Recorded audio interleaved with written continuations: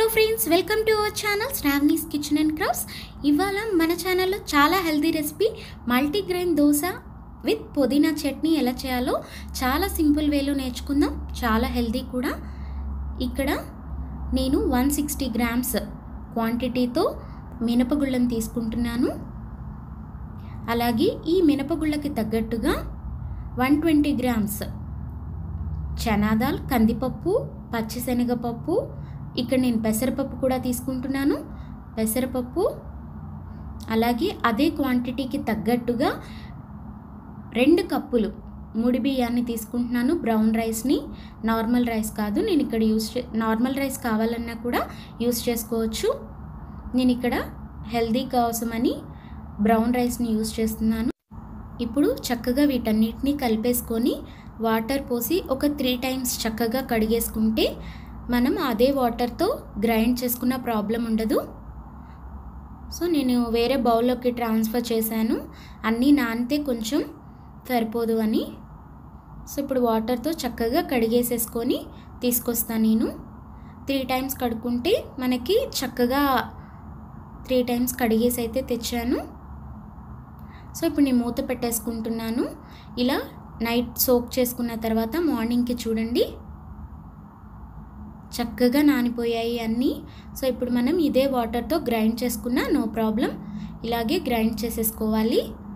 మనం దోశ బ్యాటర్ ఎలా గ్రైండ్ చేసుకుంటామో అలాగే ఆ కన్సిస్టెన్సీలోనే గ్రైండ్ చేసుకుంటే సరిపోతుంది. సో ఇప్పుడు నేను గ్రైండ్ చేసి తీసుకొస్తాను. చూడండి ఫ్రెండ్స్ ఇలా గ్రైండ్ చేసుకోవాలి. మన దోశ బ్యాటర్ లాగే అనమాట ఇలాగే మొత్తం పిండిని గ్రైండ్ చేసేస్తాను. చూడండి నేను మొత్తం పిండిని గ్రైండ్ చేసేసాను.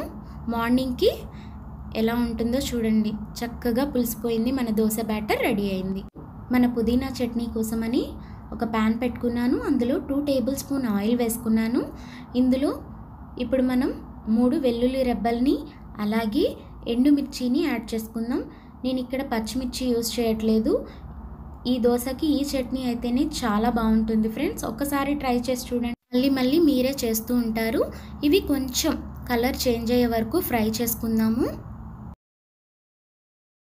ఇప్పుడు ఒక స్పూన్ జీలకర్రని యాడ్ చేస్తున్నాను.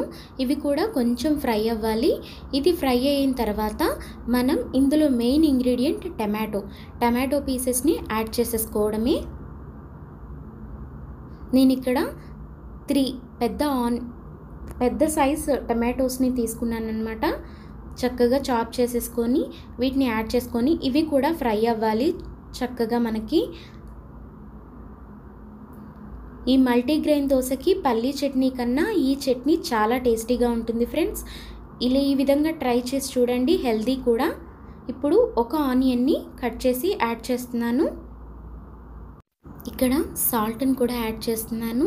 ముక్కల్లోని వాటర్ అంతా త్వరగా బయటకు వచ్చేస్తుంది. సో చ చాలా ఫాస్ట్గా వేగిపోతాయి కూడా మనం సాల్ట్ వేసుకుంటే. ఇప్పుడు దీన్ని మూత పెట్టేసుకొని మన దోశ బ్యాటర్ని కూడా చక్కగా కలిపేసుకుందాం దోశలు పోసుకోవడానికి. ఇప్పుడు మన దోశ బ్యాటర్లో సాల్ట్ యాడ్ చేసేస్తున్నాను. ఇక్కడ నేను యూజ్ చేసింది పింక్ సాల్ట్ కాబట్టి ఆ కలర్లో ఉంది. సో చక్కగా కలిపేసేసుకుందాము మన దోశ బ్యాటర్. మనం ఇది దోశ బ్యాటర్ ఏంటంటే ఇలా రెడీ చేసి పెట్టుకుంటే వన్ వీక్ వరకు కూడా ఫ్రిడ్జ్లో పెట్టుకోవచ్చు. ఏం పాడవదు. చక్కగా మనం వన్ వీక్ ఎంజాయ్ చేయొచ్చు అనమాట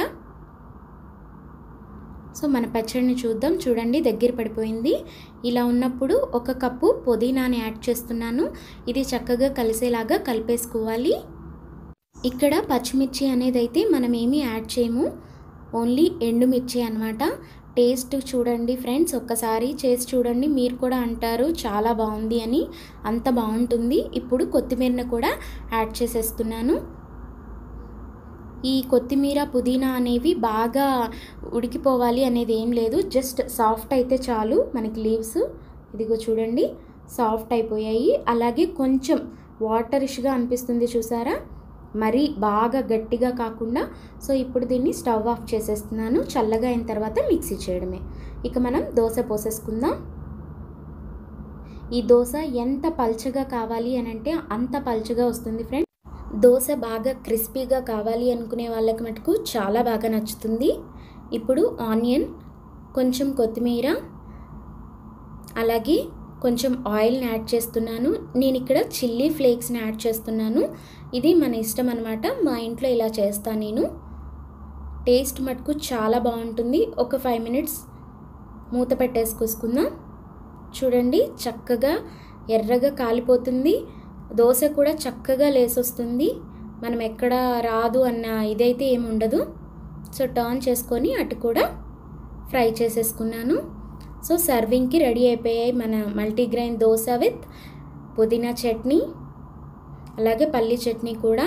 సో ఫ్రెండ్స్ ఈ సింపుల్ వీడియో కనుక మీకు నచ్చినట్లయితే లైక్ చేయండి షేర్ చేయండి సబ్స్క్రైబ్ చేయండి. పక్కనున్న బెల్ ఐకాన్ క్లిక్ చేయండి. Thanks for watching.